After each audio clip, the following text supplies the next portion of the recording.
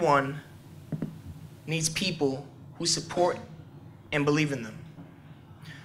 Growing up in the projects as the youngest of six children in a single parent household, the Elliott Chelsea houses were sometimes a struggle of their very own.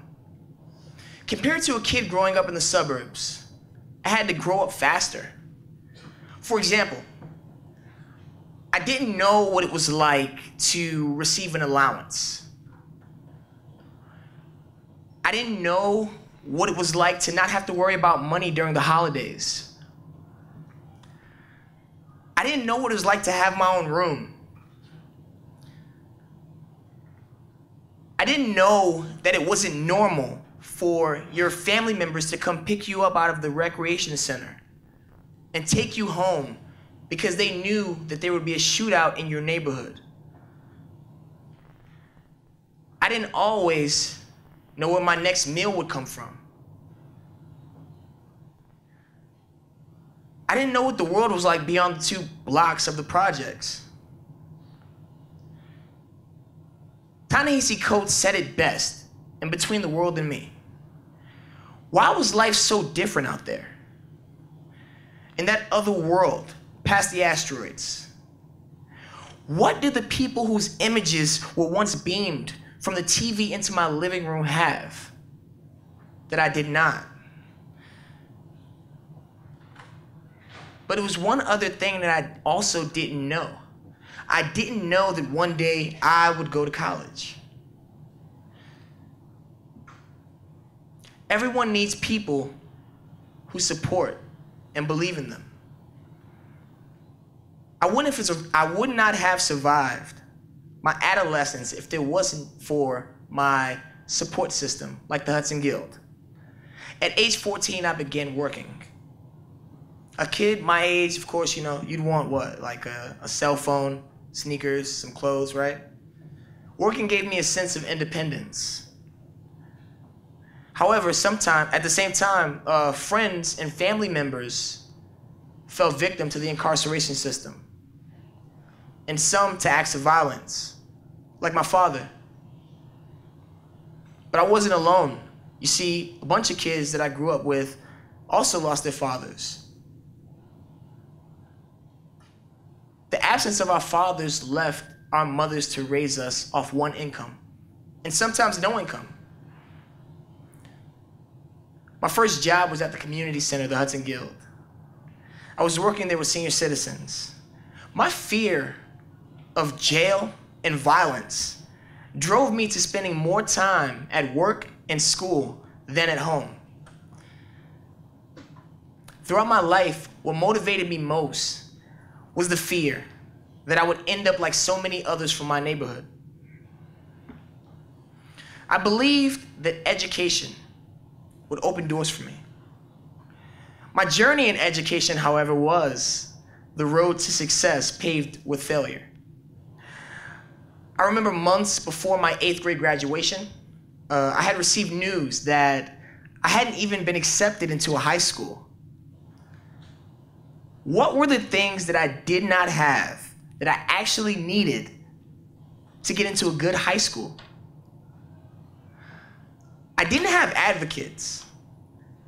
I didn't have academic preparation for standardized tests. I didn't have the awareness that there were even standardized tests that I needed to take. I didn't have the means to travel to schools to visit. And I didn't have another person to take me to those schools. I was alone. In fact, I went to my high school interview alone. And I didn't have money, so private school was completely out of the question. After spending hours in tears, I accepted the reality. Even after gaining acceptance into a school during the supplementary round, when the Hudson Guild stepped in and served as my advocate, and Angela Tiskes helped me apply, I still had a feeling, a feeling that I was unworthy. With every obstacle, I felt that I did not have what it took to succeed. just because I was in a high school, it didn't mean that I was in a high school that supported and believed in me. I had heard about the now defunct Rice High School. It's a Catholic school. Well, it was a Catholic school in Harlem. Uh, they had a 99% graduation rate. While coming up with a plan on how I could attend this out of reach private school, my biggest worry wasn't, okay, uh, how can I do well on the uh, admissions test? I knew I could do that. I knew I was smart enough. My biggest worry wasn't, um, how can I pay for my application fee? I could easily find someone who could front me 50 bucks. My biggest worry was how would I pay tuition if I were to gain acceptance into this, into this school? Clearly, financial barriers showed me that not everyone is born with equal opportunity. Let me tell you guys about someone. My oldest sister, Rondrea. At 16, she left home to work. There, she began working and paying her own bills to gain independence. This was at a time when minimum wage was only $5.15 an hour. My sister was the only working member of my family at this point. And although she'd been paying her own bills at the time, she offered to pay my tuition if I maintained a B average or better. My sister's always been an inspiration to me. She always demonstrated that education was worth more than any dollar amount. And she did that by investing in me. She invested in me and she invested in my education. Everyone needs people who support and believe in them. So I went to Rice. Rice High School made a big, big difference for me. It taught me how to dress professionally. Rice High School taught me well enough to make honor roll every single semester. Rice High School taught me the academic skills to be placed in all AP courses and to ace calculus and physics. I was taught how to make the basketball team as well as win the city championship.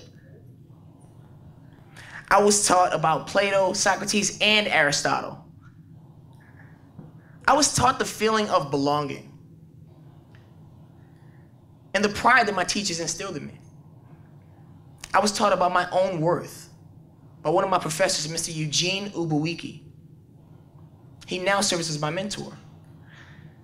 I was taught what it meant to embody what a rice man is responsibility, integrity, courage, and empowerment. And I was taught this in a poem that we would recite every single day.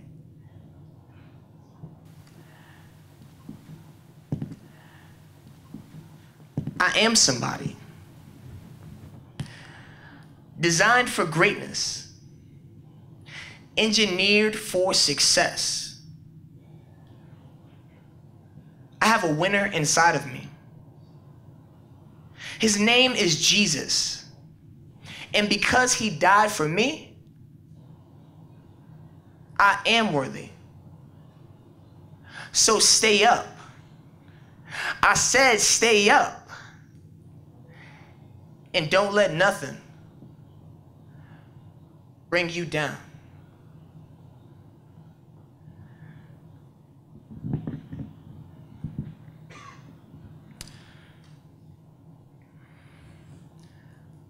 But no one in my family had ever experienced college.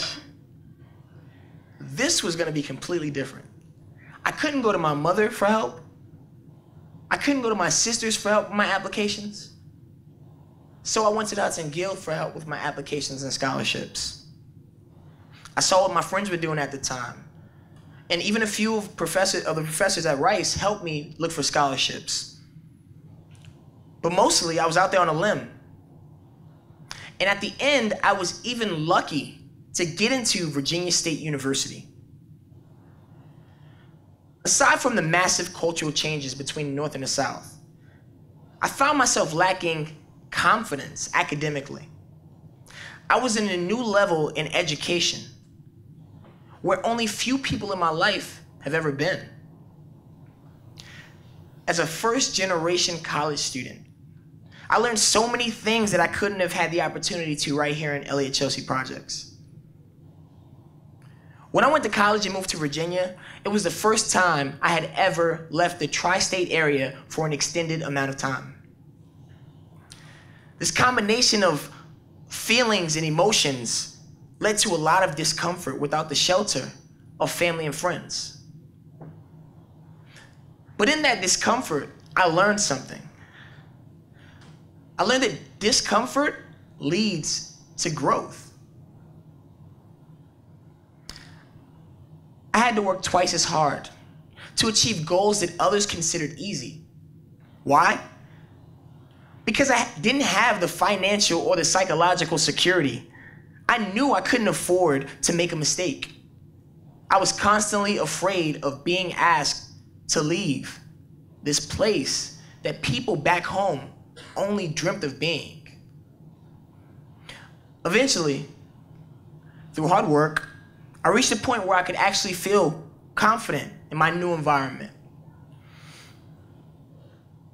Everyone needs people who support and believe in them. Going back home to Chelsea uh, is, is, uh, is still a different world. In fact, as a, diff- as a musician, I often talk about this different world. I am the hustle. But hustling ain't about the drugs they cook.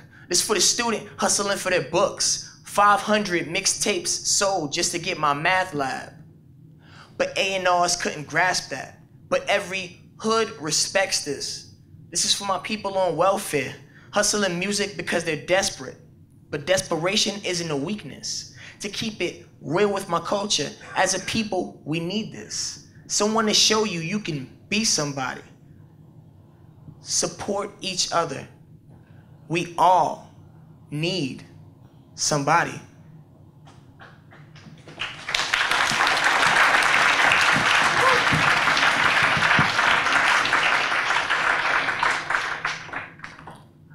My confidence is always challenged when I return to New York City, to the projects, to friends that I grew up with who were progressing at a different rate than I was. And this is this this uh, progression has caused so many breaks in relationships and friendships. What had happened to my old support system? People were stagnant. People felt since I was at a university, I was no longer the same person that grew up right here in Chelsea. People felt because I didn't want to hang out and party. They assumed that I thought that I was better than them.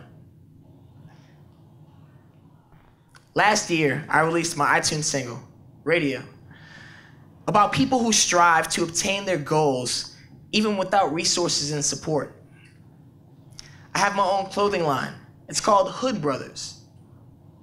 Hood is an acronym. It stands for Hustle Out of Desperation. Both my music and my company are part of this community. I was interested in pursuing my MSW because social work is one of the best ways to advocate for change and to help my community. Once again, I crossed paths with the Hudson Guild. I spoke to Ken Jockers, who's the director there, and he introduced me to my, uh, at the time, future mentor, Guy Vickers. Interestingly enough, Guy Vickers was pursuing his doctorate in social work when he instead decided to work for Tommy Hilfiger. I suddenly felt like success was within reach. Uh, he's also my fraternity brother. The things he's shown me through his leadership makes me know that this is possible. Through the many hours he spends giving back, with his involvement in the Elliott Chelsea community, as well as many others, I felt he was someone whom I could aspire to be like. On one of the many trips I came, uh, on one of the many trips back home to the projects, Uh, there was a moment that I realized that what I was doing was taking a major leap for people like me and people who come from situations like mine. I realized that when a young man who used to live in my building came up to me and he he told me that I was the man. He said I was the man because I was the only person he knew that could wear a suit and live in the projects. Today, that young man is now my mentee, and he looks to me for advice. Everyone needs people who support and believe in them. And now it's my turn to support others. Thank you guys for your time.